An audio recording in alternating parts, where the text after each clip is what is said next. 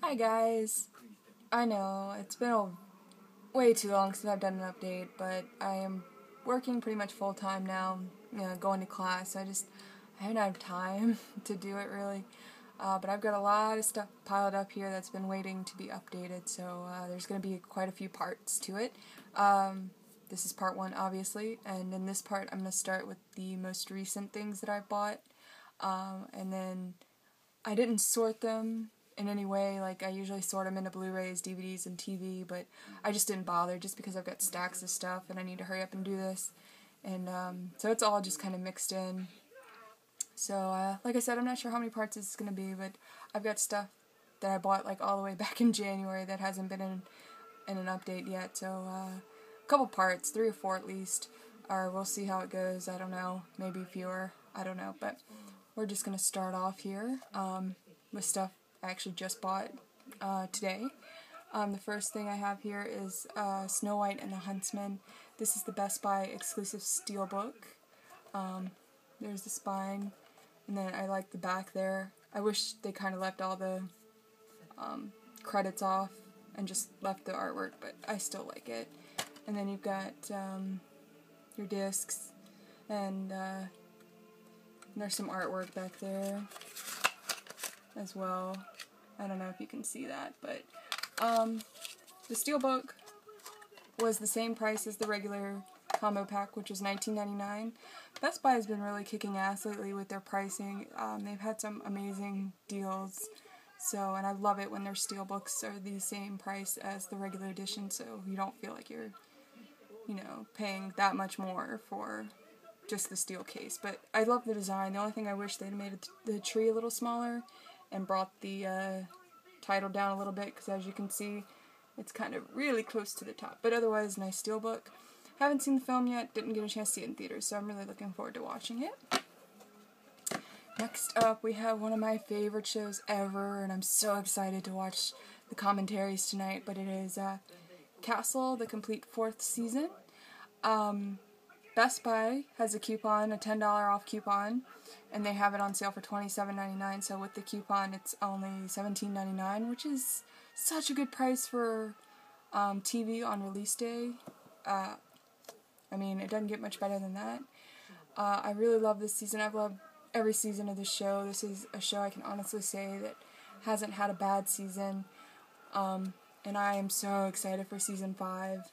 I actually haven't even opened this yet. It just came in the mail from Amazon. So it's still sealed, but as soon as this video is done, I'm going to break it open and watch it. Next up is, of course, Titanic on Blu-ray, one of my all-time favorite films.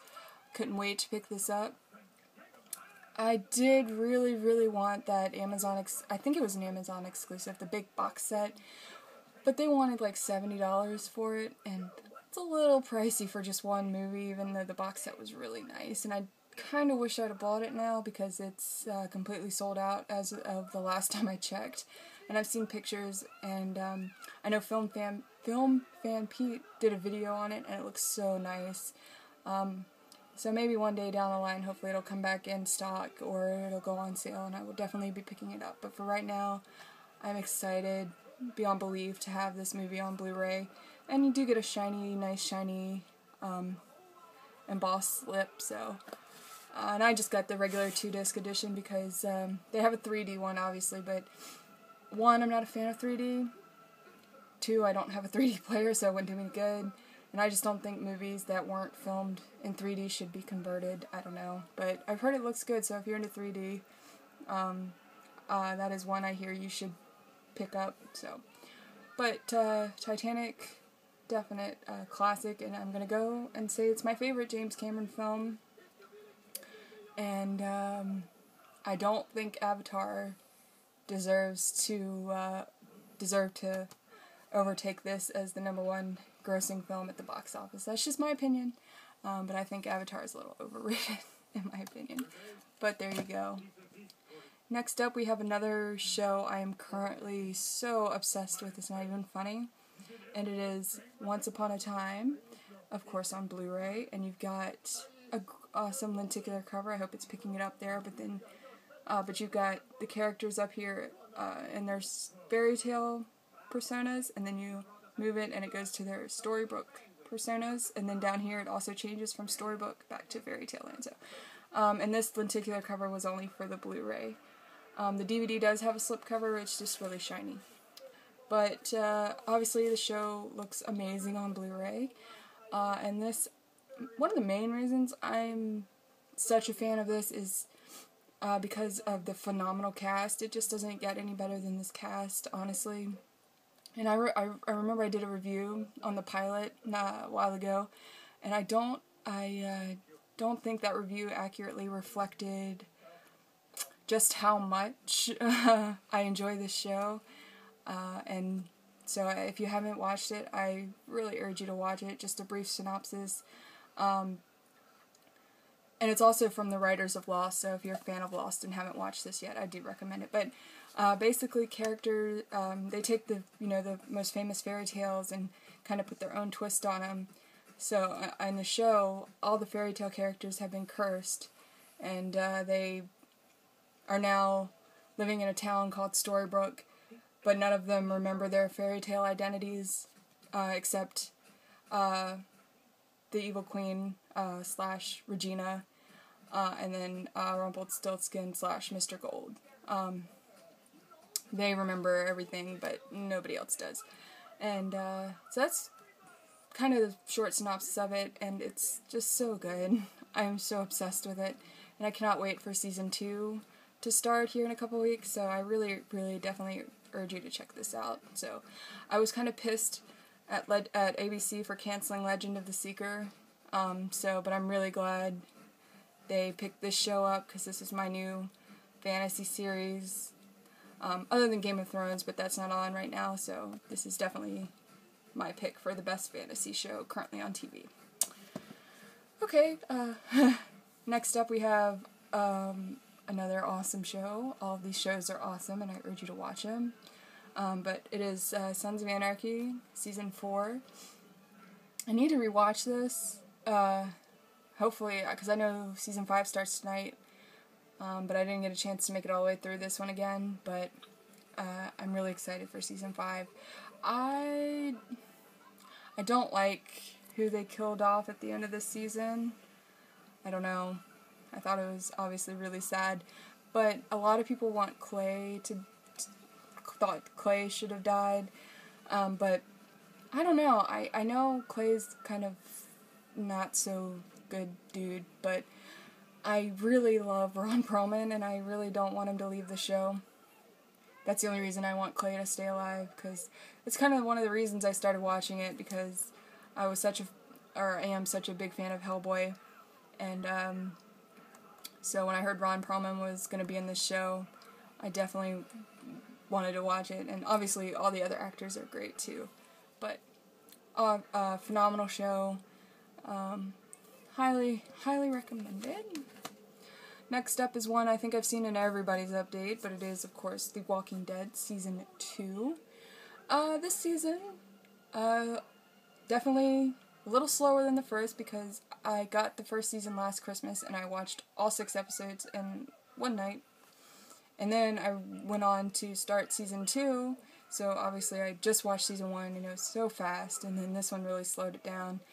Um, but I liked it overall. I just think they spent a little too long, you know, looking for Sophia and all that. I just thought that was a little drug out. Um, they could have, you know, sped that up a little bit and then that way have some other stuff happen just to pick up the pace of the show. But definitely the final two episodes were pretty kick ass. And uh, one character, I'm so happy they. I'm not going to say it because I don't want to spoil it in case anybody hadn't watched it, but one of the characters they killed off, I was so happy. I was just waiting and because I could not stand him. Oh, sorry, that kind of. But anyway, and then the other character, I was so sad that they killed off. I, I don't know.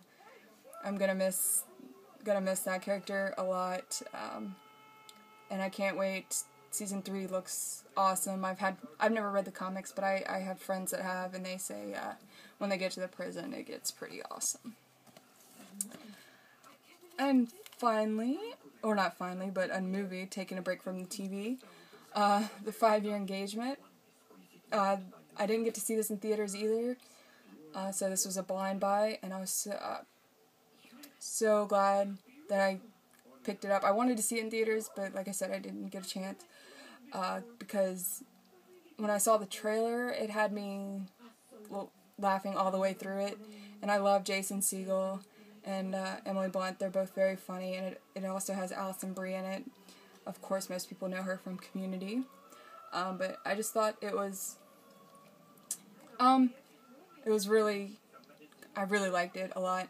It was, it's not just a straight up, you know, romantic comedy. It's got some, a good uh, mix of drama in there as well to, to balance it out. So, um, it's just a really really good movie, uh, and as you can see, it says from the producers of Bridesmaids. Uh, Bridesmaids, I thought it was a pretty good movie. Okay, I didn't think it deserved all the hype, um, but I think this is actually better than Bridesmaids. Um, but that's just my opinion. So basically, the title kind of sums it up. It's it follows Emily Blunt and Jason Segel's characters uh, over the ups and downs as they try to plan their wedding and uh, you know, kind of everything that all gets in the way uh, of them getting married. And like I said, I really recommend this one to you. Alright, um, here we go, some more TV.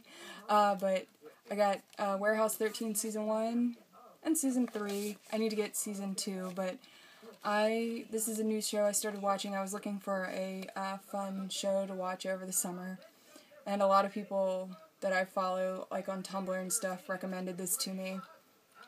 And it's a lot of fun. Um, it's a sci fi channel show, um, and it's pretty much about these. Um, the two main characters are Pete and Myka, and they were Secret Service agents before they got recruited to the warehouse. And what the warehouse is, it houses all these artifacts from throughout, from you know history, throughout history. And what an artifact is, it's kind of like a um, a really famous historical object that now possesses, you know, great power. And uh, I'm trying to think of a good one as an example. They've had uh, the one that comes to mind. I just watched the episode is um, Pavlov's Ivan Pavlov's bell that he used to train dogs with. If somebody uses it, because they I don't know, like there was a dog lost in the warehouse and they had to get him, so it it can attract any dog. Um, any lost dog or whatever, but if you use it, um, it causes excessive drooling. Not all, um, that was just a that was a comedy episode that they did that for, but it's kind of an example. I don't know if that was even a good explanation, but um, I don't know. I love history, and they kind of play around with it a little bit. Like they have a char- character H.G. Wells, you know, who obviously is a famous sci-fi writer from kind of the yeah the Victorian era. He wrote like World of Worlds and stuff but uh, they kind of um, wrote their own version where H.G. Wells is a woman who had all these great ideas uh, but couldn't get published, so her brother kind of took them and published them for her. But, um, and, uh, shoot, what was I to say?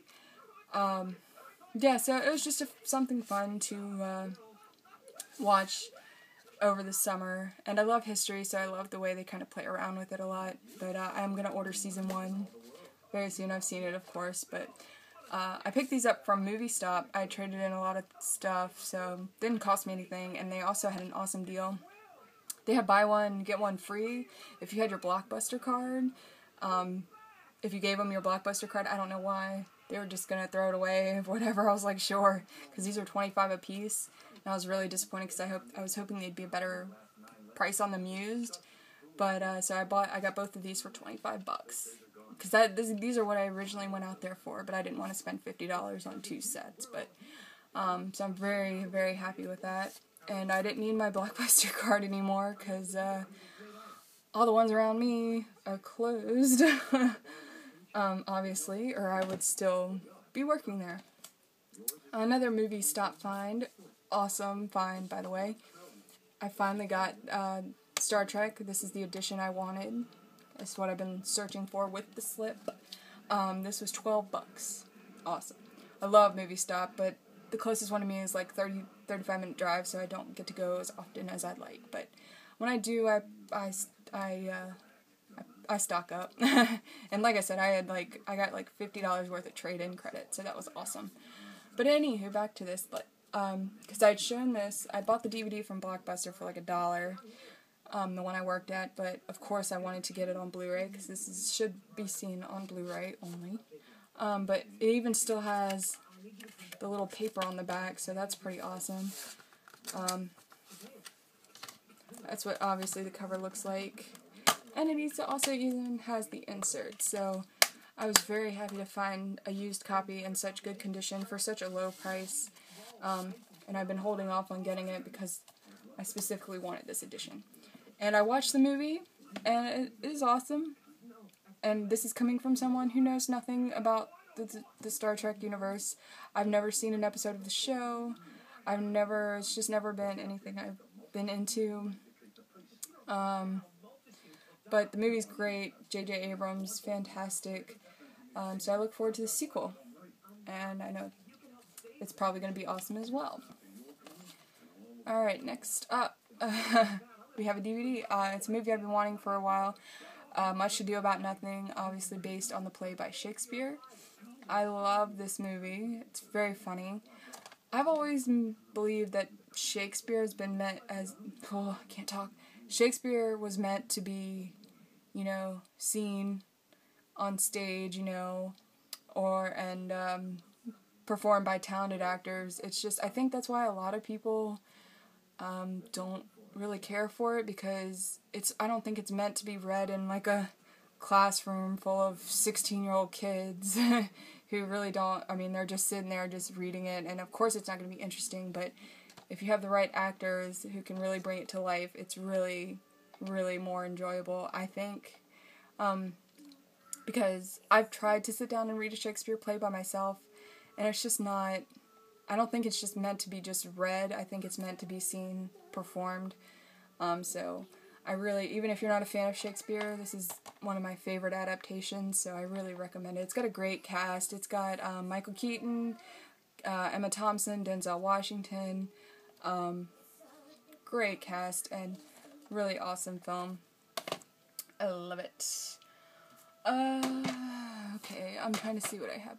Okay, I'm gonna stop it right here. Um, hope you enjoyed part one. Sorry I've taken so long to do an update, but hopefully part two will be right up.